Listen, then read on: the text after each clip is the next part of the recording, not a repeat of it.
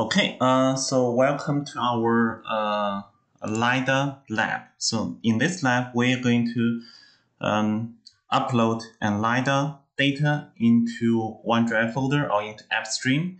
Um, and next, we're going to create a new um, uh, project in ArcGIS Pro so that we can view those uploaded uh, 3D objects, so that which is converted from the LiDAR data. So before we start, we need to download the data, uh, upload data to AppStream or to your OneDrive folder. So uh, here you can see I have already downloaded the data from Canvas. So you, you first you have download data from Canvas to your local computer. And next, I'm going to upload the file to AppStream. Uh, so I go to the file folder. Uh, so uh, you can upload to uh, the folder that you like, but I would highly recommend that we still upload the file to our OneDrive folder. So I go to my OneDrive folder, and this is labs 4. So let me see, create new folder called lab 4 and click that folder and here you can see you can upload your files. Uh, so you can upload the files uh, through the AppStream just as I'm doing here or you can upload the file to your OneDrive folder uh, before uh, uh, you connect to AppStream. And next, you go to AppStream, you should be able to find out the file that you uploaded. So here I create a new folder on my OneDrive folder, and I click Upload Files. And I say, okay, week 5, and the data is called that, uh, 3D model.obj.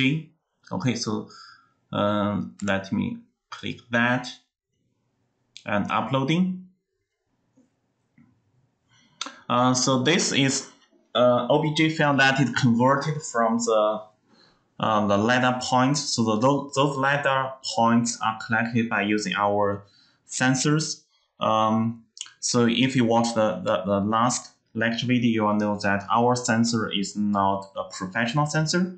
So that means those XYZ are not geocoded and it is a single retain sensor. Okay. Okay. Uh, next, once we have uploaded, so let's open ArcGIS Pro. So we log in with our GMU URL. And here, this is your GMU ID and also password.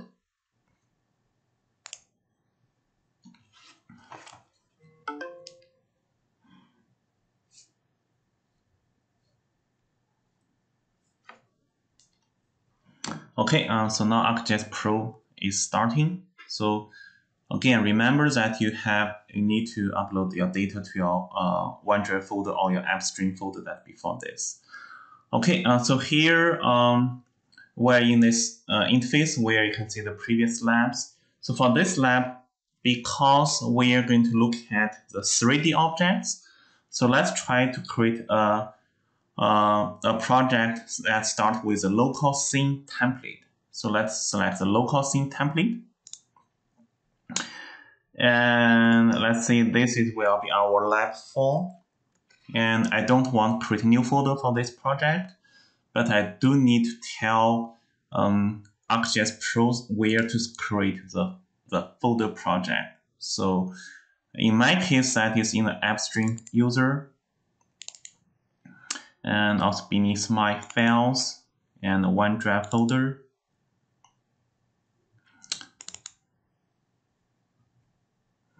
Okay, and within the OneDrive folder, I should see the folder that I've created for this semester and Lab 4.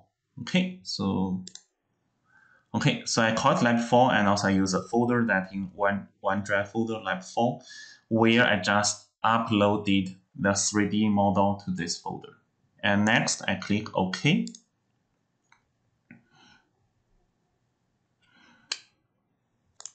All right, so now you can see that this is now in a 3D scene. And uh, on the left corner, you can see that the uh, navigator is here. So it looks like a 2D map, but actually it's already in 3D scene. Um, so if we expand our folder, and you can see here we have all those uh, database toolbox that have been set up. Uh, however, the 3D model that we uploaded uh, is not showing up here because by default, uh, the OBJ file is not recognized uh, by ArcGIS Pro. So one thing we need to do is that we need to import that 3D file. So just as we did in the previous GPS lab that we need import that GPX file into ArcGIS Pro. So here, go to analysis and find out the toolbox. And see we want import 3D file. So let's just search import 3D. And the first toolbox is the one that we need to use here. So let's click that one. Okay, so it may take a while that we um, can uh, this tool are fully loaded. So next we choose the input file. So we browse and so if you did everything correctly, so you can see that the default folder is lab4 folder, and you can see that OBJ file is here. So let's check that one. Um, and the output, so I think they should give us a default output. So let's leave that one as it is. Uh, you can also define the coordinate system here. However, we don't need to do that here. Okay, so that may sound weird. So it's the first time and probably the only time that in this lab that we don't need to define a coordinate system. The reason is because our sensor is not a professional sensor. So um, the sensor does not have a GPS unit. So all the points are not geocoded. So the X, Y, Z are just simply the relative distance between the sensor to the to the target. So it is not geocoded. So there's no way that you can choose the, the a good coordination system. Okay, so let's uh, leave everything as default. So then let's just run it. Okay, uh, it probably took about uh, one minute that on my side, uh, on my uh, on my AppStream count to finish this uh, tool. And if you go to your catalog, and I think if you expand your database, you will see that the 3D object is now loaded into, is saved into our local geospatial database. And also on the left, you can see that um, the data is now loaded. However, you cannot see that on the map because uh, it is not geocoded, so the data does not contain any coordination system. Uh, so let's just uncheck the base map. Okay, and if you right click the imported uh, data and select zoom to layer. Okay, and now you can see that the building, the model is loaded. And if you expand this online navigator and you can just play with those uh, this online navigator and you can rotate the house. This is actually the, the building that um, in our department. Okay, I think this is a, a, a room that we have the vending machine, I guess. Um, okay, uh, something that there are several things that we can do. So first, let's check the attribute. See what what non-spatial information we have. So if we open the attribute table, and we should be able to see just one single record. Okay, so uh, it's MultiPatch, just one identity, and also the name. So it's it's a very simple attribute table. Okay, so looks like everything is all the entire object is considered one record, uh, and also one uh, object in ArcGIS Pro. Okay, uh, because again, we are using a, a non um, professional sensor, so the data quality is not very good. Okay, uh, so next, let's look at the properties of the data. So if we go to the properties, and normally you will see that we, if we go to the metadata, and you can see the metadata is empty. So, so if you want to share this one with others, the it's always a, the best practice that you fill in those informations. So the other people, when they are using data, they will know that what data you're talking about. And if we go to the uh, source, and if we go to the spatial reference, and you can see this is an unknown coordinate system, so that actually is right. Again, so um, the data is not geocoded, so the, uh, in the original data, so it's, it's just relative distance between each single point of the target to the sensor, so uh, which we cannot choose a right coordinate system. Um, next, so we can try something on this one. So for example, if we go to the, the appearance, okay, um, I think, and next we go to symbology. So again, so here if you have multiple fields, probably you can display the color by the fields, but here because we have only single field, so let's just choose a single symbol. And next, if we choose a color, and you can see this is a 3D object, so you can choose different type um, of the color. So you can choose like say gray, 60% um, transparency with edges. So let's let me try that. Okay, uh, so that is in a green color. Uh, if let's say what we want to use red.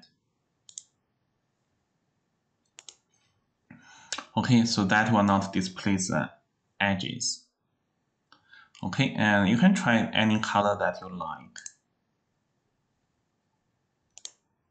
Okay, so this is blue. Okay, and you can also rotate. Uh, you can move down and also move up and also you can zoom in and also zoom out. Okay, uh, next, let's try to do some mirrors. So if we go to the map, and you can see here we can do a lot of mirrors. We can mirror distance, area, and also features. Uh, so let's just measure the distance. And you can choose a unit. So let's choose meters. And let's say we click the first starting point. And you can see automatically they can mirror uh, along with the object. So they have in uh, the length of the segment and also length of total path, etc. Okay, so that's, that's I think that's pretty cool. Uh, and also you can see the, the segment, the measure of the different segment. Again, this is not accurate uh, because it is not uh, georeferenced, so that those measures are not accurate. Okay, so that's something that you can try to play with. So if we if you have a data that is from the professional LiDAR sensor and also geocoded, so then you can measure the, the height, uh, the area, etc. So that will be very, very accurate. Okay, the last thing that I want to show you is that if we go to the analysis, um, ArcGIS Pro has added a lot of great uh, 3D analysis, which uh, I haven't used a lot. So, but here I want to use show one thing that is called 3D exploratory analysis which here, so you can see if you want to do some interactive analysis. Uh, so first thing I want to show is called slice. So let's try that. Um, so slice, so that means it, it gave us the ability that we can see the inside of this object. Okay, so now I have an error. So let me just restart the ArcGIS Pro. Okay, uh, so if you are still with me, so uh, ArcGIS Pro just crashed when I was trying to use this interactive visualization. So I just restarted ArcGIS Pro and also fortunately Lab 4 was saved. And also this 3D object was also there. So let let me drag it again to ArcGIS Pro in this local scene.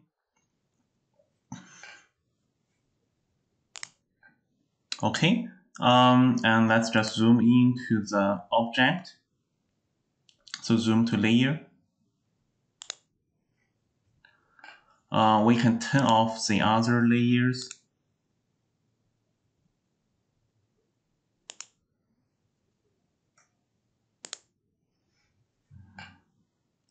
Okay, uh, and again, you can change the colors if you like. So let's say we want to change the color. Uh, let's see, let's say try gray. Okay, so let's save the project immediately, just in case it will crash again. And also for the lab, you need to provide screenshot. So this is probably the best time that you should capture the screenshot as well. So let me save it. Okay. Uh, let's expand the navigator.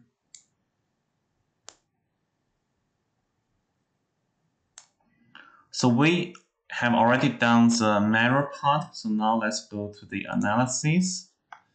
Uh, let's do this interactive analysis. So here I'm going to try the slice.